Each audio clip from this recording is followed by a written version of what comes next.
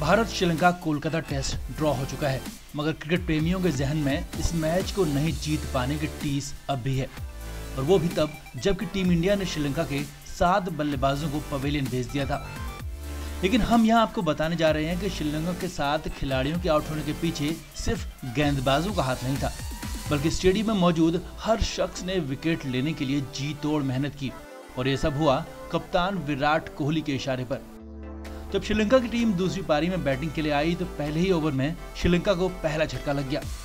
इसके बाद कप्तान विराट कोहली ने स्टेडियम में क्राउड की तरफ़ इशारा करते हुए कहा कि वो भी साथ दें और गेंदबाज के साथ साथ वो भी बल्लेबाज की तरफ़ जाएँ।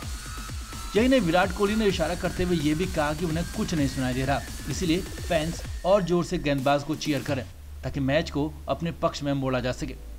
बस फिर क्या था? विराट का इशारा मिलते ही फैंस के साथ मिलकर गेंदबाजों ने मैच का रुख ही पलट दिया और एक के बाद एक लंका के सात विकेट गिरा दिए। वो तो खराब लाइट ने लंका को बचा लिया, नहीं तो इस मैच में बड़ा रिकॉर्ड बनना तय नज़र आ रहा था। Flame media report.